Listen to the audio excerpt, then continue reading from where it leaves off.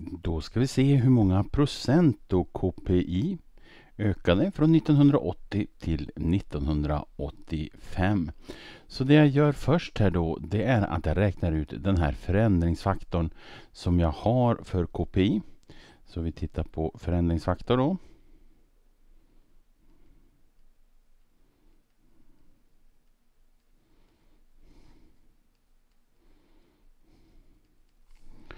Och då är det till året som jag sätter upp i täljaren och från året som jag sätter i nämnaren. Och till året här 1985 då är konsumentprisindex 153,8 153,8 och det finns då i en tabell i boken så man kan leta reda på de siffrorna för det är ingenting man har i huvudet. Och från året 1980 så var KPI 100.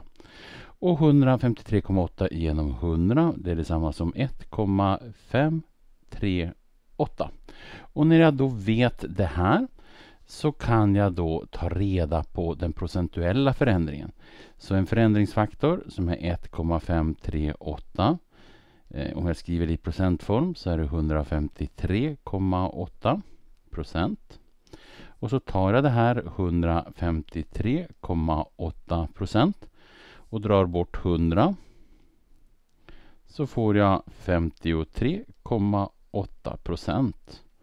Så svar. Det motsvarar